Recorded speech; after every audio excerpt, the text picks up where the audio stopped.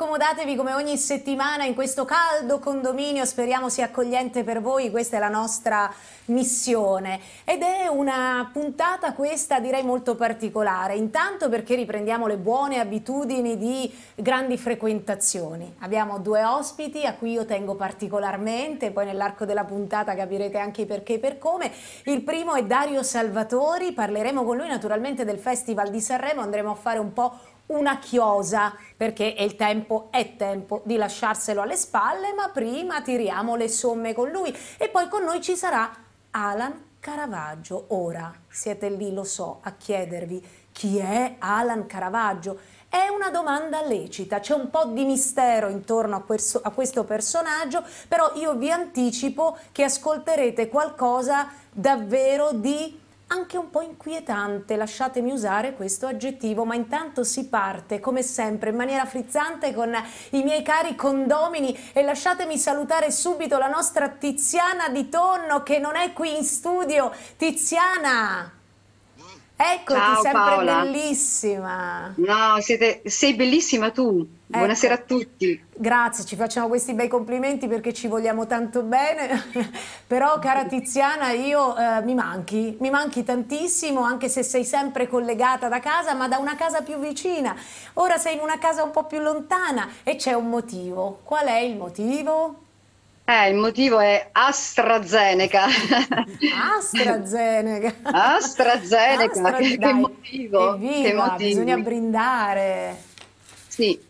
Beh, insomma, sono ancora un po' febbricitante, un po' dolorante, però abbiamo fatto questo vaccino, insomma, sono contenta. Sembrava impossibile arrivarci meno di un anno, insomma, un anno fa si parlava, si accennava soltanto al vaccino, adesso invece ce l'abbiamo fatta. Ecco, Evviva, sono evviva, evviva. Dai, tieni duro ancora qualche ora, certamente questi strascichi del vaccino poi finiranno così come sono arrivati e tornerai più vicina vicina al tuo caro condominio interno 8, però so anche che oggi hai delle belle sorprese per noi a tema scarpette rosse. Sì, anche perché ho trasformato casa mia in diversi set questa sera, ho occupato tutta casa, quindi Diversi set qua, un po' per interno 8 e dopo di questo a bassissimo livello lasciami andare a salutare il nostro musico felice Alessandro De Berardinis. Ciao Ale.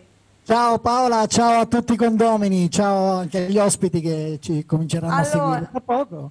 Allora tutto. caro hai visto Allora, le scarpette rosse di Tiziana? È uno strascico Oh, sta- questa è la puntata degli strascichi dal Festival di Sanremo alla festa delle donne direi che sono temi sempre caldi e importanti per noi 42 soprattutto le donne. Dico il mio 42 non ce l'ha sicuramente. No, io mi astengo Paola, a parte gli scherzi, da tutte le polemiche, da tutti gli schieramenti un po', sa, un po' stanti, tutto l'armamentario retorico che sta dietro a questa festa, Certo. che accompagna ogni volta questa festa della donna, ogni anno. Io posso solo dire che sono, sono fortunato da un punto di vista, anche se eh, lavorando, lavorandoci, ho animato negli anni tante, tante, tante feste con la donna, della donna, ho avuto la fortuna, se, se si può dire così, la fortuna di stare insieme e festeggiare con le donne. ma hai quindi- fatto anche gli spogliarelli? No, questo no, questo no, spogliarelli no. Ho accompagnato, diciamo, animato un po' musicalmente, però voglio dire, ho, ho vissuto questo privilegio che non hanno avuto i mariti, i papà, i compagni di, di queste di Certo, tante, di certo. tante donne. Che poi privilegio, le donne in quei contesti sono, de- come dire, degli animali fuori dalle gabbie quasi. Oddio che brutta Beh, cosa che ho detto, adesso mi Comunque, arriveranno sempre proprio... in- erano buone intenzioni le mie per dire che durante la festa delle donne le donne si lasciano andare con gioia, vivacità e divertimento, si intende. Cosa pensa della festa delle donne il nostro The Journalist Luca Pompei, la costola seria di Interno 8? E addirittura, che presentazione, saluti a tutti, saluto Tiziana che quando è lontana appare in maniera quasi come una dea, quando eh, è vicina eh, Sempre resta. Sempre resta, però a vederla così, non lo so, un, uh, così, un piccolo brivido. È la lontananza, che è come il, vento, vento, e lo sappiamo, eh, lo dai, so, che so. accende le passioni. Allora Paola, beh, nei giorni scorsi si è celebrata la festa delle donne, il cui significato si è un po' perso negli anni tra quella specie di etichetta poco onorevole di categoria protetta e certe deviazioni edonistiche di cene esclusive animate, come avete ricordato, da avvenenti spogliarellisti. Ma al mese di marzo è legato il ricordo di una terribile tragedia avvenuta a New York dove morirono molti operai, di cui la gran parte donne. Riflettendo però su questa giornata ho pensato sarebbe stato più giusto non perdersi tanto nella retorica quanto nel racconto di una storia. La storia che voglio raccontarti stasera, cara Paola, è quella della ragazza con la lampada. Una ragazza nata da una buonissima famiglia esattamente 200 anni fa, quando l'agiatezza era un privilegio da tenersi ben stretto. Una vita facile, circondata da affetti sinceri, un'ottima istruzione, un futuro già segnato, magari suggellato da un buon matrimonio e la bambagia assicurata. Ma questa ragazza con la lampada non si è accontentata di tutto questo ed ha intrapreso tutt'altra strada, quella della sofferenza, della generosità e della cura verso il prossimo. Contro la volontà dei suoi genitori eh, cominciò a viaggiare e prestare soccorso lì dove serviva. Nella seconda metà dell'Ottocento la troviamo a Scutari in Turchia in un ospedale da campo costruito su un letamaio nel Bosforo divampava la guerra di Crimea, ma ad uccidere i soldati più che le pallottole erano le devastanti condizioni igieniche di quell'ospedale. Grazie al suo intervento, con l'aiuto anche del governo, la situazione migliorò tanto che il numero dei morti in quell'ospedale diminuì di almeno due terzi. Questa ragazza con la lampada, così venne chiamata da un testimone dell'epoca per quel suo muoversi nell'oscurità nei corridoi di quell'ospedale con una lanterna in mano, si chiamava Florence Nightingale dalla sua esperienza, dai suoi studi e soprattutto dai suoi scritti si fonda la scienza dell'infermieristica moderna ed il 12 maggio, giorno della sua nascita, si celebra la giornata internazionale degli infermieri e delle infermiere. Tra le tante storie di grandi donne, famose e sconosciute, ho scelto questa un po' per omaggiare chi in un momento complicato come questo sta sacrificando il proprio tempo e la propria vita stando al fianco di chi combatte la battaglia personale contro il Covid. E poi perché se penso alle donne mi vengono in mente poche ma fondamentali cose, Paola. Sensibilità, generosità e cura.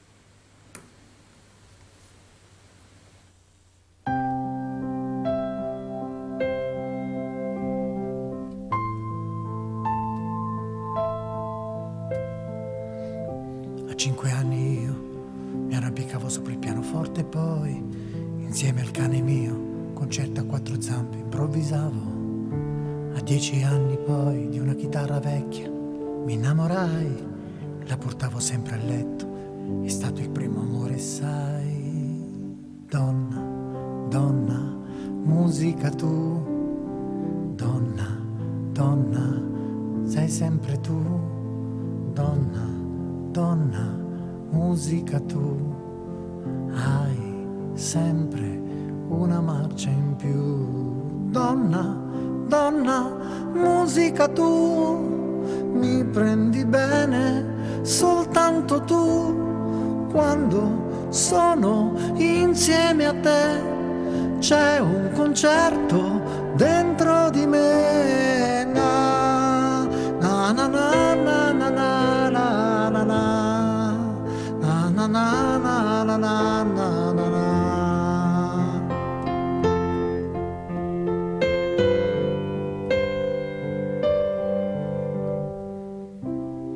Quando bevo il mio caffè, tu sei lo zucchero più dolce che c'è.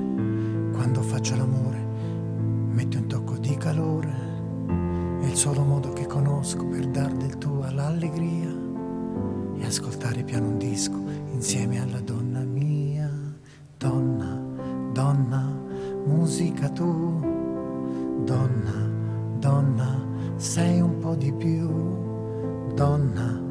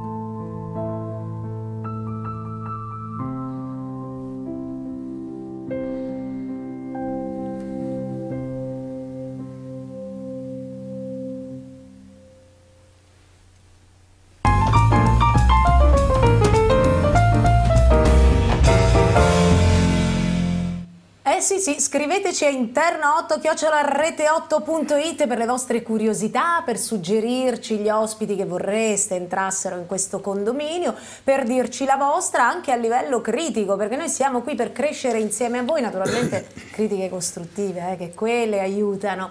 E a proposito di critica, questa parola un po' declinata al maschile fa critico. E allora io direi che è arrivato il momento di incontrare, anzi intanto lasciatemi ringraziare Luca e Alessandro per questi momenti sempre di grande riflessione e intrattenimento qui a Interno 8, ma dicevo Parliamo di critica musicale ma soprattutto di memoria storica, perché quando la settimana scorsa so che ci avete seguito in tanti nel nostro vedere il Festival di Sanremo tutti insieme, nei nostri chiacchiericci, noi volendo chiudere l'argomento Sanremo ci siamo interrogati su chi sentire, su chi incontrare e potete immaginare essendo io dell'ambito quanti nomi mi sono venuti in mente, però ce n'era uno che proprio avevamo tutti voglia di sentire e di incontrare perché davvero si tratta della memoria storica della musica e della canzone italiana.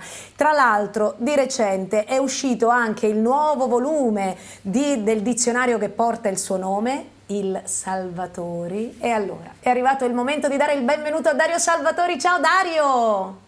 Buonasera, buonasera a te e a tutti i condomini. Mi raccomando, non vi assemblate. Eh no, siamo ognuno nelle case, ognuno alle case, come diciamo sempre. Caro Dario, come stai innanzitutto? È un po' che non ti vedo.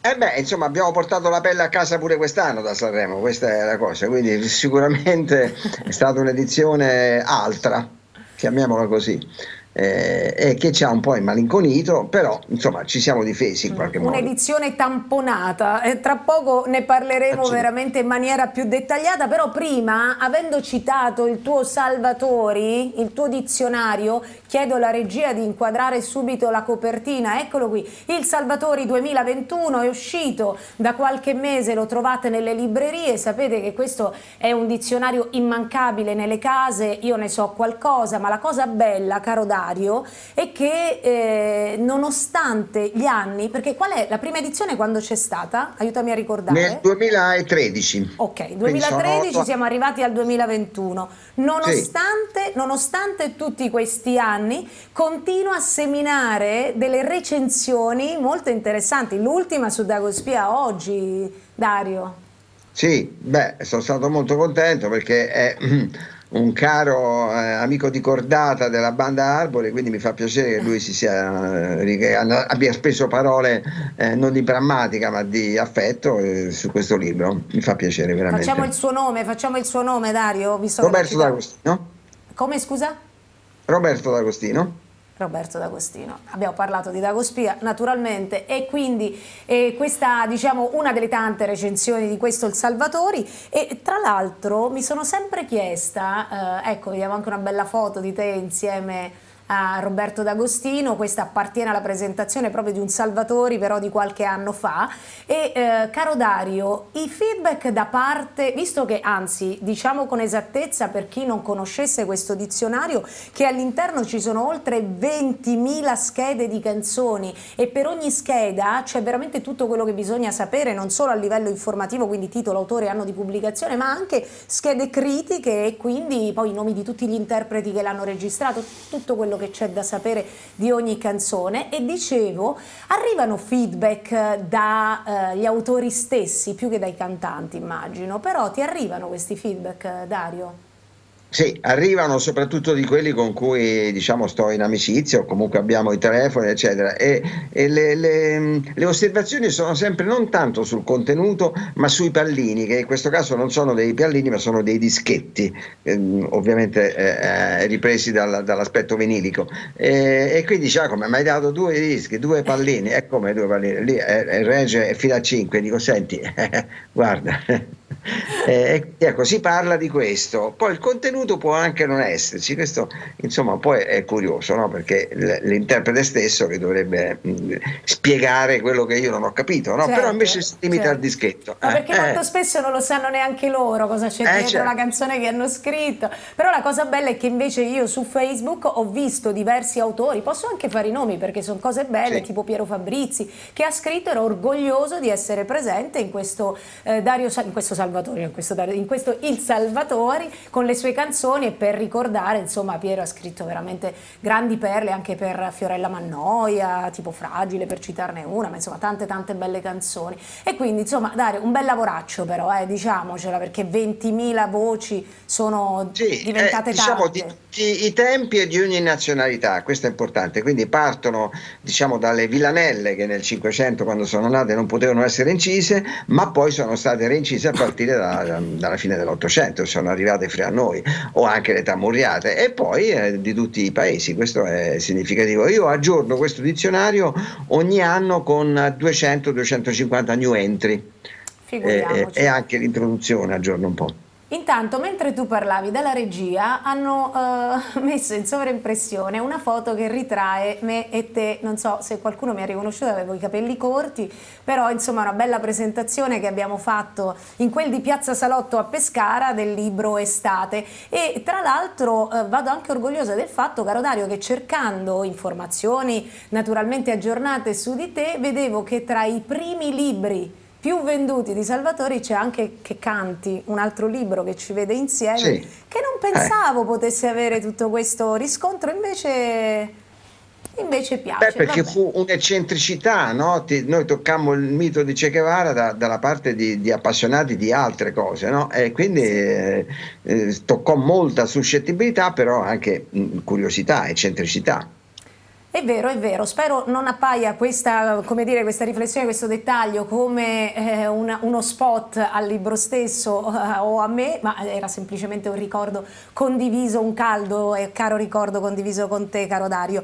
Detto questo, veniamo al Festival di Sanremo. Allora, in sintesi, che idea ti sei fatto di questa edizione che ci siamo buttati alle spalle? Beh, è un'edizione che eh, paga eh, eh, lo scotto di, di, quello che stiamo patendo nel mondo, insomma, ormai da un anno pieno.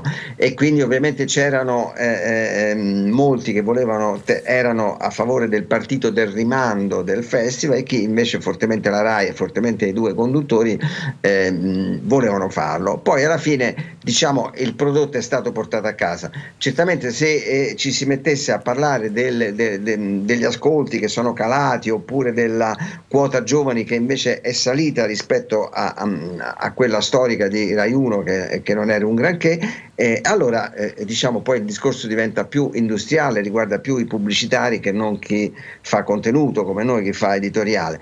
Eh, credo che la grande novità, oltre a quella pandemica ovviamente, sia stata questo cast, un cast eh, scelto personalmente direi da mh, mm, Amadeus con artisti eh, molto rischiosi per il pubblico di Rai 1 perché nessuno li conosceva. Noi anche addetti ai lavori, io non mi ricordo di dire che 3-4 non l'avevo mai sentiti. Diciamolo. Quindi, oh Diciamolo eh. apertamente, sì, è così, è una scelta sì. rischiosissima, hai ragione. Eh, certamente, non sono stati eh, compresi eh, del tutto, anzi la classifica eh, ufficiale eh, finale li ha collocati nella seconda parte de- della tabella, quindi da- da- dalla decima posizione alla ventesima, e invece qualcuno è riuscito a avere, mi viene in mente Madame per esempio, che era una delle mie preferite, sì. che è arrivata a nona e soprattutto ha colpito, ha, pre- ha vinto il premio Bardotti, ehm, eh, noi del, del gruppo del, del premio Lunelli Venezia gli avevano assegnato il premio Lucenzio, ovvero per la musicalletterarietà della canzone, del testo,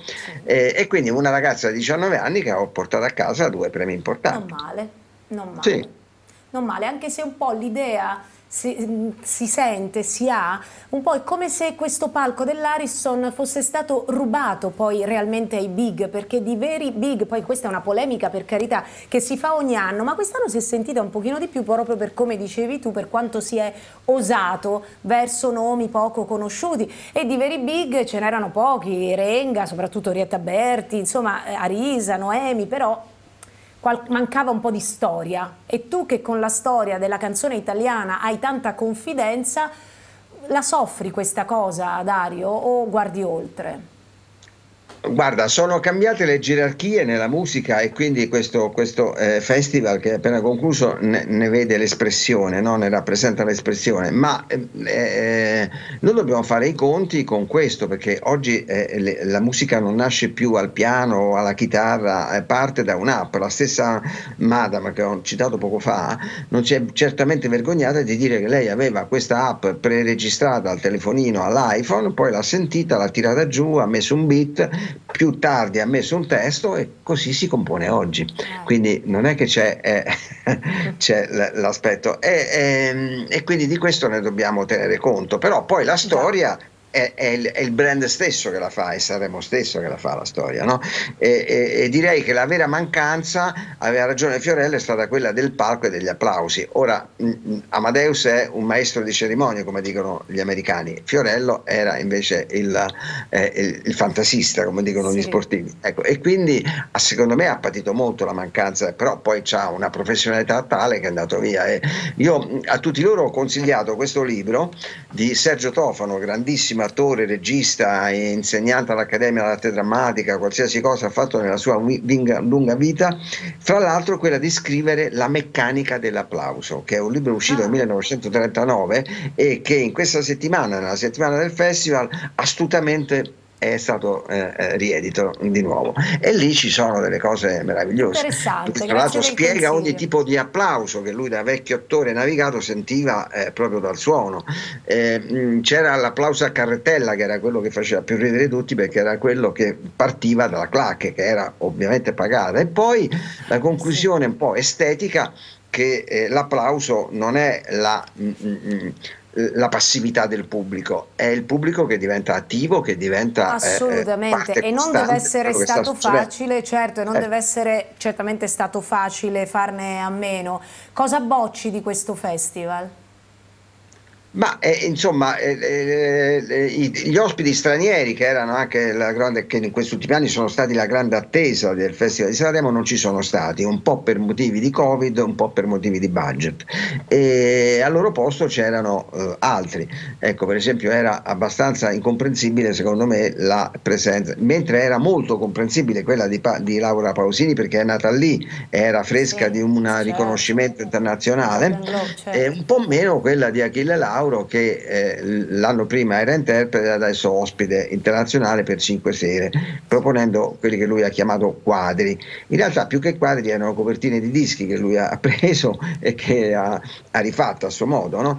Però eh, io l'ho biasimato per l'intera settimana, però in realtà mettendomi nei, nei panni dei giovani, lui fa cose che altri hanno fatto prima di lui. Però non possiamo costringere i ragazzi a mettere nelle loro camerette i poster di Renato Zero che ha 40 40 anni di più di Achille Lauro oppure di quelli defunti sì. per non parlare e allora eh, lui passa per un innovatore cosa che non è eh, però ecco eh già, se uno eh dicesse che con la musica scavo e sollevo tutti i veli che si sono accumulati nella musica voi direte, beh, questo è Achille Lauro. No, è Claude Debussy che diceva questo, cioè il re dell'impressionismo, e lo diceva nel 1892.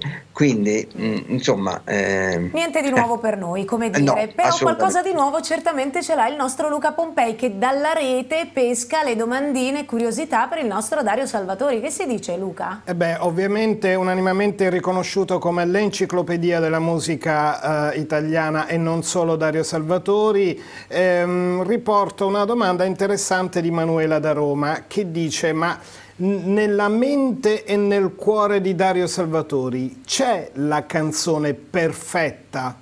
Wow, che domandona ragazzi. Beh, è un domandone di rilievo importante. Eh, beh, la canzone perfetta ha a che vedere con il genere che ti piace, perché non può essere eh, eh, omologa su tutto. No? Fortunatamente io ne ho più di una di, di, di, quelle che amo, di quelle che mi porto dietro in qualche modo, e però per, per, per rispondere alla domanda concretamente, sì, la canzone perfetta secondo me è Satisfaction, eh che anno 1965 dei, dei Rolling Stones. Rolling perché Stone. dico la canzone perfetta? Per tanti motivi. Due eh, fondamentali. Intanto perché aveva un testo di Mick Jagger che ricordiamo era eh, un allievo eh, della London School of Economics di Londra e come compagno di banco aveva Prodi, poi eh, stessa, stesso millesimo, poi si sono un po' divise le carriere. Destini no? diversi. E era talmente bravo che eh, l'università gli scrisse, allora lui disse guardate quest'anno faccio un anno sabbatico perché adesso sto facendo un altro mestiere e la, la, l'università gli scrisse guardi noi l'aspettiamo, l'aspettiamo, lei faccia il suo mestiere e poi noi l'aspettiamo. Quando mai un'università ti risponde così, no? Quindi perché la canzone perfetta? Perché c'era questo testo che rappresentava l'incomunicabilità giovanile e anche l'insoddisfazione giovanile, non soltanto sessuale, ma proprio quella della comunicazione e del fatto di non essere capiti dai grandi dell'epoca. E poi c'era questa, questo riff di chitarra che noi appassionati dicevamo, ma gli Stones hanno messo un sassofonista nel gruppo, qui c'è un sassofono. Non era un sassofono, era la chitarra di Keith Richard, che era distorta. Noi in Italia lo chiamavamo distorsore, in realtà sì. si chiama bass box, cioè una scatoletta così. Quante che ne sai, quante ne sai, eh. quante ne sai eh. Dario. Il problema no, è che secondo me la domanda che ti hanno fatto è una domanda che richiederebbe davvero una puntata intera dedicata probabilmente a un tema così, con Dario Salvatore e tutto quello che avrebbe da raccontare. E allora facciamo così Dario, noi adesso ci salutiamo perché ai noi il tempo l'è finito, come dicono quelli bravi, ma rivediamoci presto e parliamo magari della canzone perfetta in maniera approfondita, che dici? Con grande interesse e con grande piacere, l'appuntamento potrebbe essere quello dell'Eurovision, dove andrà l'Italia con i vincitori con questi Maneskin che Orietta Berti ha chiamato Nazi Skin, se è sbagliata, eh, però però ci sta. Va bene, eh, appuntamento dato Dario. Allora per adesso grazie. il condominio di Interno 8 ti ringrazia per essere stato protagonista e ci sentiamo allora prestissimo. Con grande piacere.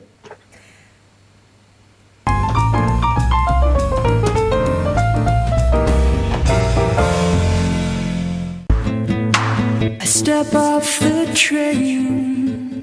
I'm walking down your street again. L'uomo sintesi è dinamico, sportivo, ma al tempo stesso non rinuncia ad un'eleganza contemporanea, fatta di dettagli e ricercatezza. La nostra continua ricerca di nuovi brand animerà sicuramente il desiderio di cambiamento.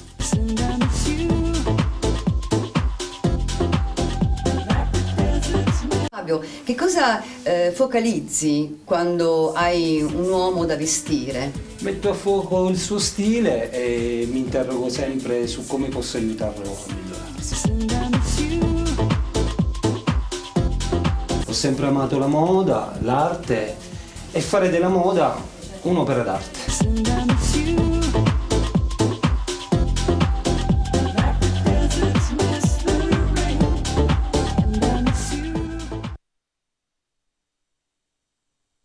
Secondo me, la donna e l'uomo sono destinati a diventare uguali.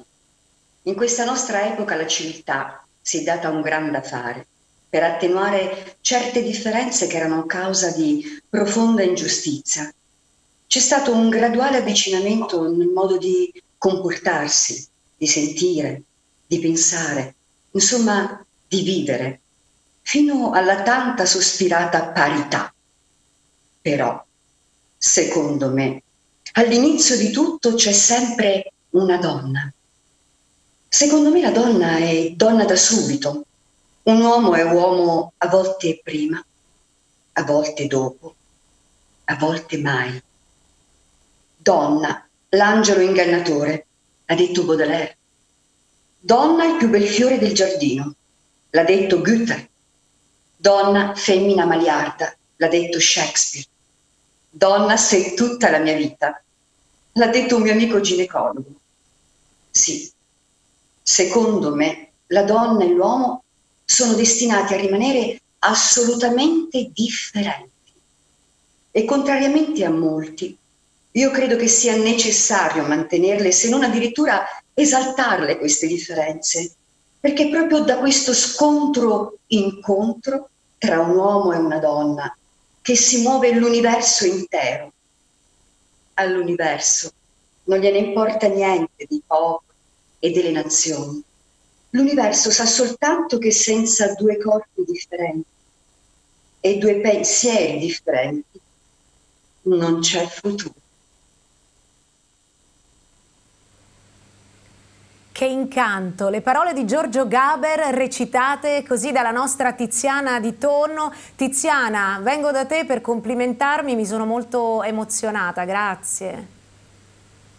Grazie a te, grazie a te. Dovevamo queste belle parole alla giornata internazionale della donna, dedicata alla donna. E direi e che hai... sembrava giusto offrire queste, questi bei pensieri. E hai scelto bene, sono state dette, scritte tante cose sulla donna, ma insomma la sensibilità di Giorgio Gaber che ben conosciamo arriva sempre puntuale. Grazie Tiziana, adesso è arrivato il momento dopo Dario Salvatori annunciato, conosciuto, di eh, andare a conoscere, lo annunciavamo all'inizio, un come dire, non è facile per me, eh, ve lo anticipo, fare questa presentazione perché di lui so davvero poco.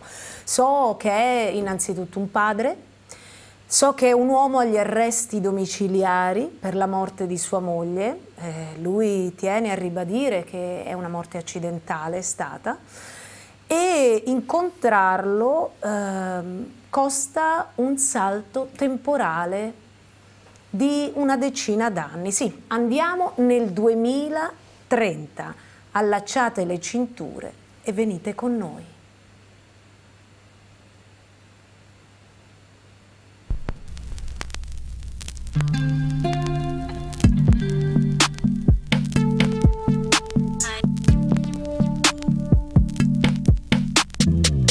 Anno Domini 2030 in quello che sarà definito l'ultimo anno dell'era tecnorassica. Io, Alan Caravaggio, confinato agli arresti domiciliari per colpa di un omicidio che io non posso non definire l'incidente. Registro queste lettere vocali nella speranza che giungano a mio figlio Lorenzo, malgrado Butterfly 29, il virus informatico che ha provocato una net pandemia che da ormai due mesi colpendo l'intero pianeta ha fatto piombare il mondo nella più completa disconnessione da ogni forma di intelligenza artificiale, generando l'assoluta assenza di ogni forma di comunicazione.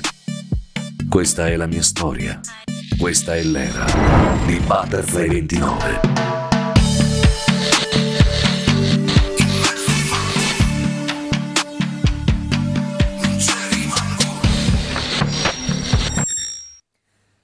È con tanta curiosità e non senza emozione che do il benvenuto a Interno 8 ad Alan Caravaggio. Alan, buonasera.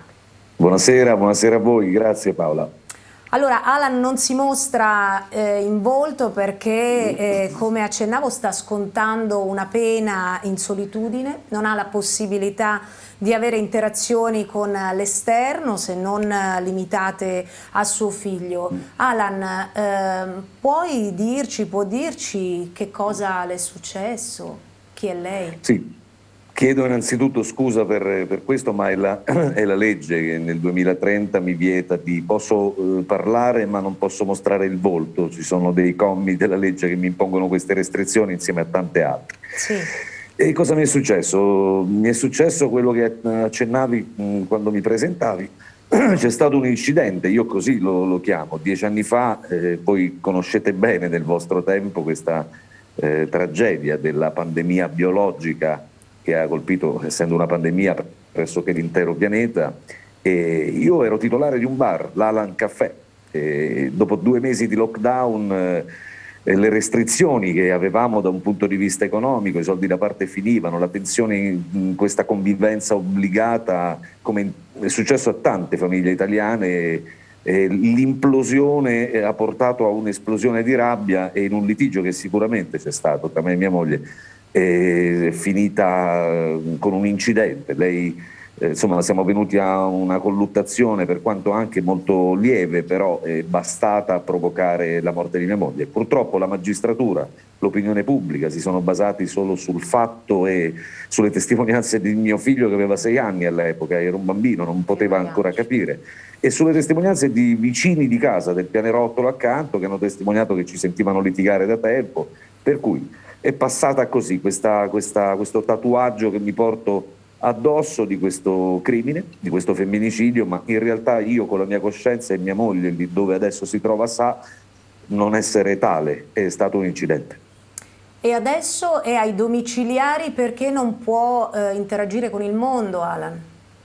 Sì, ma a questo si è aggiunta anche la particolarità del nostro tempo. Eh, voi state facendo un grande uso della tecnologia e questo è anche una cosa assolutamente giusta, il progresso va sempre elogiato, ma nel 2030, nel mio 2030, la pandemia si è spostata da, dalla biologia all'informatica e quindi siamo all'interno, al centro di un blackout completo del sistema informatico. Noi, noi, del 2030 tra noi abbiamo azzerato ogni forma di comunicazione, per cui io nello specifico dal mio isolamento sono sempre più confinato, perché se prima ero domiciliari ma avevo la possibilità di, di tenermi comunque aggiornato attraverso i canali televisivi, e attraverso anche quella che da noi si chiama, nel nostro tempo si chiama la navigazione controllata, c'era possibilità di accesso a una decina di siti internet per tenerci quantomeno informati e aggiornati. Tutto questo nel nostro mondo, nella nostra era, nella nostra epoca non c'è più. Eh, io ho il mondo lì fuori per cui posso solamente immaginarlo, la gente sono sicuro che starà tornando a vivere, a vivere la strada, la piazza, i parchi pubblici, i teatri, eh, starà tornando a una vera socialità, eh, ma tutto questo per me adesso è solo così, è frutto della mia immaginazione perché mm. non, non, ne ho testimonianza se non attraverso un paio di volte a settimana Paolo, l'assistente sociale che bontà sua mi porta i viveri, al, così, mi fermo con lui un paio di minuti, chiedo informazioni di quello che sta accadendo lì fuori e non è un brutto mondo. Mm. Alan, lei ci sta dicendo che nel 2030 avremo nuovamente a che fare con una pandemia, questa volta una net pandemia che dunque non colpirà l'uomo ma il sistema informatico, è così? Nel, nel, mio 2030 sì, voi eh, la realtà è, è sempre fluida, nel liquida, voi potete, potete, evitarlo, potete assolutamente evitarlo, certo. ma eh, la strada che ha preso diciamo, la mia realtà mi ha portato a vivere quel 2030 in cui eh, accade questa cosa e, e, immaginate fra dieci anni quanto avrete spostato, se già adesso la realtà che un tempo fino a qualche anno fa definivamo virtuale, definivate vir virtuale, oggi non, non, si usa neanche più questo tipo di qualificazione per questa realtà, cioè siamo completamente connessi alla rete e immaginate fra dieci anni quanto ancora più noi che viviamo il 2030 lo saremo. Eh, siamo senza tutto questo tipo di connessione, ma questo non è assolutamente mm. evitabile, eh, basta che vi organizzate. Eh, Alan, un'ultima curiosità, lei è ripreso da 32 telecamere nel luogo in cui è recluso, ma non ha contatti con la società. Eh, come vive questa assenza di privacy? Cosa le manca di più? Immagino suo figlio Lorenzo che a questo punto dovrebbe essere adolescente, giusto? Adolescente avanzato, sì. 16-17 anni. Ha 16 anni adesso Lorenzo. 16 anni. Sì, allora io sono ripreso da 32 telecamere perché così il protocollo per i domiciliari nel 2030 prevede, ho anche un, un braccialetto eh, col quale sono con, costantemente monitorato, ma questo fino a qualche mese fa perché appunto da quattro mesi si è sparsa questa pandemia, quindi io so di continuare a essere ripreso, c'è una registrazione permanente che che continua, ma so di non essere più visto perché c'è la disconnessione, quindi io potrei tranquillamente uscire, potrei andare a vivere, ma sono, sono stato nella mia vita fino, a, fino all'incidente, sono stato solito non avere mai debiti con nessuno, non voglio averne, figuriamoci con la giustizia degli uomini, per cui voglio scontare, Capisco. anche se non più controllato e monitorato, voglio scontare fino all'ultimo giorno di questa eh, di, questi, di, questa pena, così come è stata sentenziata dal giudice. Mi manca, mi manca tutto, mi manca la vita, mi manca il mio Alan Caffè, mi manca la possibilità di interagire con le persone, con l'umanità, con l'umanesimo, col cuore della, della gente che ho incontrato e mi manca da morire mio figlio, Lorenzo. Io sono dieci anni che non lo vedo più perché mi fu tolto ovviamente in un colpo solo, mio figlio perse la madre e il padre mi fu tolto in prima istanza dal giudice per, per, ovvi motivi, quando poi a 14 anni gli fu chiesto se aveva la voglia di comunque di rincontrarmi e ristabilire un rapporto, Lorenzo memore di questo incidente che però per lui è boll- insomma anche lui lo bolla come un femminicidio, ha deciso di non volermi incontrare. Io allora ho scritto mh, delle lettere, otto lettere vocali scritto, ho registrato, ho mandato de- de- delle lettere vocali a mio figlio grazie a Paolo, l'assistente sociale con la speranza di potermi far conoscere da questo essere umano giovanissimo ma che praticamente non mi conosce e con la speranza che possa eh, ristabilire un contatto con me perché è la cosa che desidero più di ogni altra. Caro Alan, ha un groppo al cuore sentirle raccontare una storia così, soprattutto da genitore. Io vorrei chiederle come possiamo restare in contatto con lei, però preferisco chiederlo a qualcuno che così a occhio e croce, secondo me, ne sa più di lei. Milo Vallone, ciao colui Milo. Che mi ha cre- colui che mi ha creato praticamente. Milo Vallone interno 8, Milo, attore, ecco, il 2000, regista. Il 2030 qui. Ma mi ha colpito tantissimo quel calendario 2030, mi sono chiesta se ero io un po' indietro con, eh, con le date oppure eri tu che eri avanti e tu stai avanti da sempre, caro mio. Senti, ti inquadri un po' meglio il viso, ad Alan non lo potevo dire, a te sì. Mi inquadri un po' Eh. più la testa, vedo tanto petto, Adesso. tanto busto e poca Ecco, testa. sì, ero in posizione, ero in posizione Alan Caravaggio, adesso credo vada un pochino meglio. Milo, Paola. Ci ho creduto, mi so- ho sofferto e così faremo perché stiamo naturalmente annunciando non la fantasia di un momento ma un lavoro ben definito. Butterfly 29, che cos'è Milo? Butterfly 29 è il titolo di questo progetto che appunto si sviluppa in otto episodi, eh, otto capitoli, come li, li definisco anche, che sono queste otto audiolettere che Alan manda al figlio. Eh, li chiamo episodi e non puntate perché sono assolutamente scisse tra loro, cioè si può vedere tranquillamente la quarta, dico per dire senza aver visto le altre, e comunque comprendere eh, la, la trama e la tessitura di quell'episodio. Ehm, andranno in onda su Rete 8 alle 22.30 ogni lunedì a partire da lunedì 15 marzo, la durata è di mm, varia, è compresa tra il quarto d'ora e i 20 minuti e in queste audiolettere vedremo Alan Caravaggio, la sua vita, sia quella reclusa sia quella dei suoi flashback della sua vita. È una docufiction, oltre a essere una mh, piccola serie, perché comunque per due motivi sostanziali. Sì. Eh, uno perché ci sono dei contributi video e filmati della vita che racconta, della sua vita passata, quindi antecedenti al 2030, che riguardano il nostro attuale presente e per cui ci sono contributi esterni, immagini di repertorio che rendono la tessitura più ancora eh, avvincente se non altro da un punto di vista documentaristico anche. E poi per la scrittura. Io ho avuto questa idea ad aprile, in pieno lockdown vero quello che ci ha colpito Sì. e pensavo veramente stiamo spostando tutta la nostra vita ormai Sì. eh, sopra la rete, virtuale, sì. mm, rendendo insomma, il digitale e l'informatizzazione protagonista assoluto delle nostre esistenze.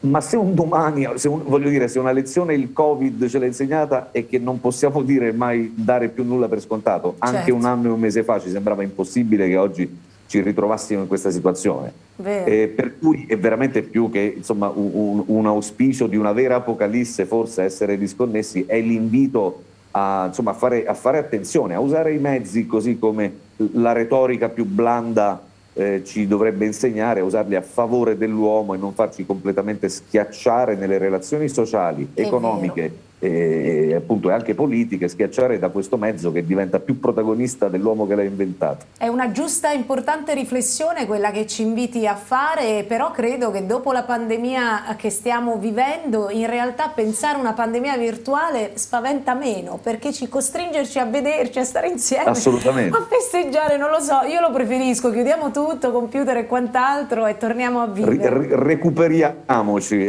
Oddio quanto non vedo l'ora proprio, so di interpretare Guarda, la stanchezza di tutti perché non si può vivere senza un abbraccio, senza, cioè avere timore dell'altro è la cosa più inquietante che ci poteva succedere ed è successa. Quindi immaginare qualcosa di altrettanto inquietante non era facile e tu ci sei andato veramente tanto vicino, caro Sai cosa Paola, eh, se, eh, come inciso, io veramente pensavo, leggevo, visto che si sta raccontando molto ovviamente la pandemia come è accaduto a un certo cinema, comunque il linguaggio dopo sì. immediatamente negli anni successivi alla guerra, sì. alla seconda, al secondo conflitto bellico, ci sono degli eventi della realtà così straordinari che un artista, un operatore ha il dovere in qualche modo di raccontare.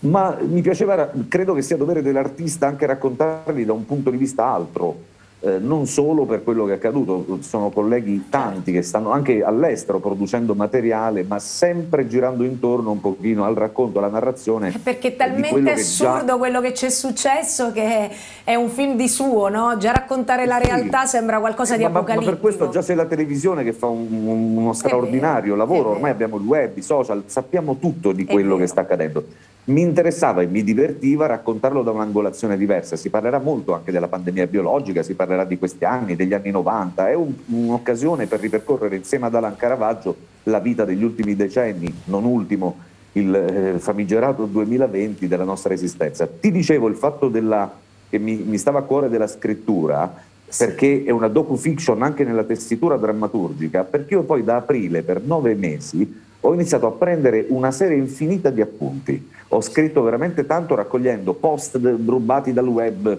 opinionisti in televisione, tutte le suggestioni che mi arrivavano io le appuntavo.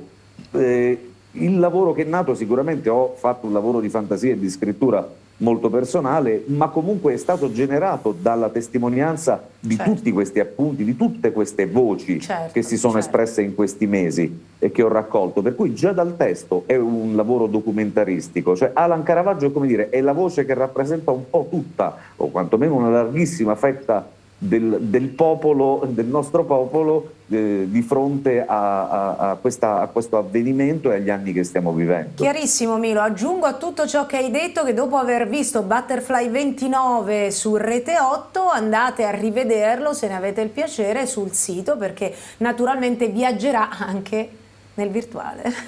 che ti piace o no, caro Alan, viaggerà anche su butterfly29.com, dico bene? .com, sì. .com. E adesso qui c'è chi scalpita, chi scalcia, chi non regge più, devo farlo intervenire, anche se purtroppo abbiamo pochissimo tempo, mi perdonerete. Luca Pompei che vuole proprio salutare Alan Caravaggio alias. Beh, che ci ha messo del suo, eh, c'è lo zampino eh, di Pompei anche in questo lavoro. Eh sì. Sì, un modesto contributo eh, il mio, ma vabbè, eh, per me è anche così un po' eh, imbarazzante eh, fare domande a Milo Vallone eh, praticamente... Falle Alan, non siamo, a Milo, falle Alan. Siamo cresciuti insieme io e Milo. Eh, no, mh, mm, però ecco, insomma, io più che altro, più che mie domande personali, ne approfitto per rivolgere a Milo domande dal web. Milo, che è uno straordinario animatore delle serate eh, d'estate culturali a Pescara e non solo, ma poi insomma ha viaggiato tantissimo in tutta Italia. Eh, mi chiedono, in particolare eh, Maria, eh, mi chiede quanto ti è mancato Milo eh, il palcoscenico in questo e quanto ti sta mancando il palcoscenico in questo anno orribilis soprattutto per, eh, per chi svolge il tuo fantastico mestiere. Sì, eh, allora, eh, eh, forse anche l'ultimo aspetto per quadrare il cerchio rispetto alle, all'avventura di Butterfly 29 che nasce poi anche sostanzialmente da questo. Io non ho mai creduto nel teatro in streaming, il teatro a me manca da morire, il mio lavoro innanzitutto, quindi mi manca per ovvie ragioni abbiamo il posto di lavoro chiuso ormai da un anno e più e mi manca anche psicologicamente, come a molti colleghi, non credendo nel fatto che il teatro possa essere fatto in streaming, perché il teatro, per certo. essere teatro, ha bisogno di pubblico, certo. se non c'è pubblico non è teatro. È interessante questo esperimento, perlomeno per me, mi auguro che sia una scintilla anche per dei colleghi, proprio per inventarci un nuovo codice, cioè non tanto un modo diverso di far fruire l'accadimento teatrale, quanto invece inventare un nuovo linguaggio e riconcepire la costruzione dell'accadimento teatrale. Io dalle 32 telecamere sono sempre inquadrato in figura intera, come a teatro vediamo certo, l'attore in figura certo, intera, certo. è un modo diverso e nuovo, credo anche per far vivere la teatralità in questo momento così drammatico a sipario chiuso. Mi sembra un'ottima, un'ottima cosa, sei stato bravo a cogliere questa occasione creativa. Grazie. Ti seguiremo, seguiremo Alan Caravaggio, Butterfly 29, Rete 8 sul sito, insomma torneremo a parlare con te caro Milo Vallone delle tante cose che farai anche a teatro, finito questo incubo. Grazie, grazie per essere stato con noi Milo, in bocca al lupo per tutto.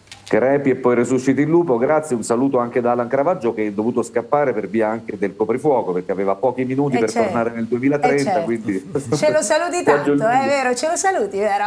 Ciao caro Milo, allora Ciao. noi torniamo tra pochissimo con Luciano Passeri, preparate carta e penna.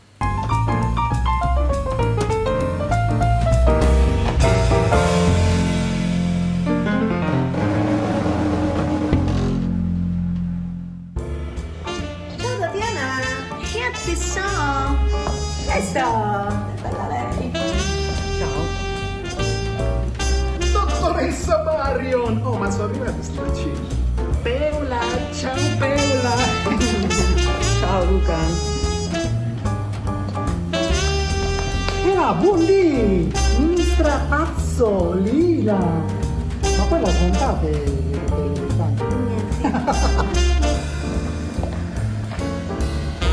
Io sono Tiziana di Doni.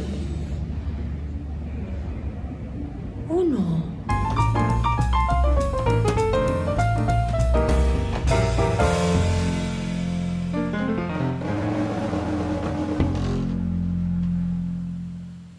Ma che mattacchioni, questi ragazzi di interno 8, eh? che mattacchioni. E siccome quattro mattacchioni eh, sono belli, ma se sono cinque lo sono ancora di più, noi abbiamo anche il quinto mattacchione, che mentre io parlo, che cosa mi sventola davanti? Lo vogliamo inquadrare, eh? Danilo, guardalo lì, il nostro Luciano Passeri, che mi sventola il fiadone. Buonasera, buonasera. a tutti. Buonasera. Ah, Sentilo, ma non si fa, no, questo non si fa, questa è proprio violenza Colpo sulle masse. basso, Luciano, questo è un colpo, colpo basso. bassissimo, basta, me ne vado.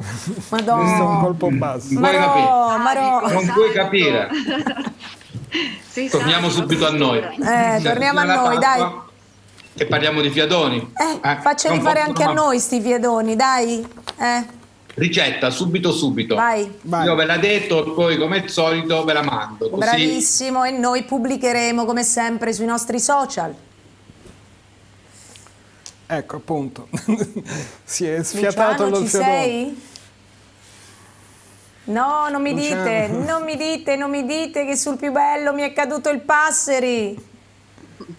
Passeri, mi senti? No, vabbè, e adesso questa ricetta dei fiadoni, ragazzi, ci resta Eh, qui. è rimasta Secondo qui. me è l'ha sabotato qui. per, per fare No, ma non ci credo, è caduta, è caduta la linea proprio sull'inizio della ricetta. Vabbè, adesso la ricetta ce l'ha da Alessandro. Vai Ale, come si fanno i fiadoni? Come, come li faresti Ale i fiadoni? Guarda, so che il ripieno de- ci voglio tanto pecorino, perché a me piace... Ah, è un mix di formaggi, mix di Però è un formaggi. mix, sì, brava, brava. Tiziana, sa che- Rigatino, rigatino. Vai Tiziana, rigatino, che Eh, cos'è? Un formaggio? Tiziana, ti vedo rigatino? preparata. Io non so neanche cos'è il Soprattutto a rigatino. mangiarli. Io li so mangiare, non li so fare, ma li so mangiare, guarda, ti posso Eh, garantire. guarda, mi riesce... Eccolo, eccolo, Eccoci, aspetta, aspetta che è tornato, è tornato, Luciano. No, è un'illusione. Ah, è un'illusione. No, ma il rigatino cos'è? Ah, oh, eccolo, aspetta. È formaggio rigatino. Ah, il formaggio rigatino. Sì, credo se ne mettano tre di formaggi. Mm. E- è un mix di formaggi tra, tra cui c'è anche il rigatino.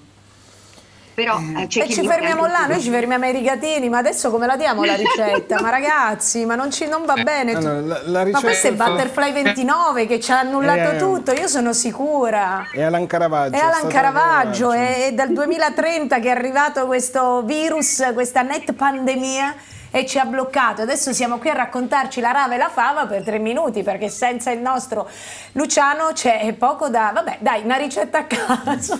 Allora, pasta e fagioli in bianco. Pasta aglio e olio. Paola Premi l'ha chiamato al telefono. Lo chiam- ah, chiamalo al Ce telefono, l'abbiamo- sì, Già ce bravissimo. l'abbiamo. Eccolo qua. Ah, ce l'abbiamo, Luciano. Buonasera, scusate ma è successo qualcosa sulle linee, non so cosa. Sì. Allora, per i fiadoni, Pasqua, tipica abruzzese. Aspetti, là, mi sa che ci stiamo ricollegando. Eh, Sì, ma tu vai, tu vedo vai, il tuo Luciano. nome, ma non ti vedo, vabbè. eh. Ok. Ah, però c'è Allora, il ritorno, comunque, per togli la- l'audio, togli l'audio. Oh ragazzi, Adesso- fa parte adesso? della diretta, eh, se questa era una registrata, queste sono le prove di diretta, perché se era una registrata noi questo lo tagliavamo, perché non si può vedere, non si può sentire. Eccoci. Però è dire, eccolo, Eccoci. ma vieni, abbiamo Eh, due minuti, ce la possiamo fare, Vai, vai. parti. Veloce, impasto, 450 grammi di farina, 100 grammi di vino bianco, 100 grammi di olio evo, due uova, un pizzico di sale. No, o- olio evo, cioè, ah, extravergine d'oliva. Sì, vabbè. sì, sì, per ma abbreviare, Parliamo, parliamo come mangiamo, olio evo. Olio extravergine di olive, due uova e un po' un pizzico di sale. Per il ripieno, Eh. 400, 400 grammi di formaggio misto. Noi mettiamo grana e pecorino, però eh, c'è chi ci mette mh, la, la ricotta, c'è chi ci mette il rigatino. Noi consigliamo formaggio misto tra parmigiano e pecorino. Poi ci vanno 5 uova intere e un tuorlo sbattuto per eh, spennellare il fiadone una volta eh, riempito. Sì. Fargli un piccolo taglietto sopra con le forbici prima di andarlo a cuocere, un taglietto proprio sopra la parte bombata Sì. e cuocere a 180 gradi statico per 20 minuti. Ma si chiude come un raviolo, Luciano? Esatto, fate finta che sfogliate un raviolo, quindi anche con la macchina che ci fate la pasta fatta in casa, quella piccolina, fate la sfoglia, dopodiché lo riempite con il formaggio, quell'impasto che vi ho fatto la ricetta, prima vi ho dato la ricetta, Sì. lo chiudete come un raviolo e con la forchetta gli fate quei tipici, quelle tipiche sbelle- sberlettature, Ah, no? no, De- ok, ok. Ah, ok. con la forchetta lo chiudete, dopodiché lo mettete in una teglia e lo cuocete a 180 gradi, forno statico per 20 minuti. Forno statico per 20 minuti. Ok, ci sono contemplate delle varianti, Luciano? Sì, cioè all'interno tipo con dei sapori? delle- quello che dicevo prima, molte persone modificano il ripieno tradizionale con della ricotta, quindi farlo più morbido. Ma più- sempre a livello di formaggi, ma cose da mettere, erbette, queste cose qui non si usano. È- Allora, il tipico fiadone abruzzese non è così, è tradizionale col pecorino, effettivamente. Però poi ovviamente tu puoi metterci ciò che vuoi, puoi mettere Se delle ti ci erbette- piace. Se ti ci piace, eh, quello che vuoi. Un'altra cosa, per esempio, invece che mettere solo 100 grammi di vino bianco, potete metterne ce- 80 di vino e 20 di aceto, in modo che dà una sfoglia un- leggermente più croccante e sottile, tipo il cannolo siciliano, no? È più o meno la sfoglia. Senz'altro. Senz'altro. Ok, Volevo chiederti se andava bene anche col prosecco, ma il tempo è finito, quindi No, no, ma la, farina- l'ho il tempo, stiamo sforando Il Luca. Luciano, prosecco, che farina, prosecco, dopo Luciano, che fai così, farina. Luciano, che farina chiede Luca? Che Dai che siamo i farina? saluti. Una farina 00 va bene, ma qualsiasi tipo di farina. Va benissimo, allora grazie Luciano Passeri, grazie Dario Salvatori, Alan Caravaggio, Milo Vallone, grazie Ciao, Tiziana Luciano. Di Tonno, Alessandro De Berardinis, Andrea Di Fabio, Danilo Cinquino, grande squadra di Interno 8. Riprendo fiato e vi dico a venerdì.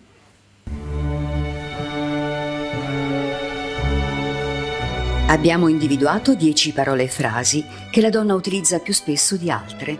Dal dizionario donna italiano, italiano donna. Ad esempio, quando una donna dice niente, niente è la calma prima della tempesta. Niente vuol dire qualcosa e dovresti stare allerta. Discussioni che cominciano con niente normalmente finiscono in bene. Bene, questa è la parola che usano le donne per terminare una discussione quando hanno ragione e tu devi stare zitto. Eh, sospirone. È come una parola, ma essendo un'affermazione non verbale, viene spesso fraintesa dagli uomini. Un sospirone significa che lei pensa che sei uno stronzo e si chiede perché sta perdendo il suo tempo lì davanti a te a discutere di niente. Fai pure.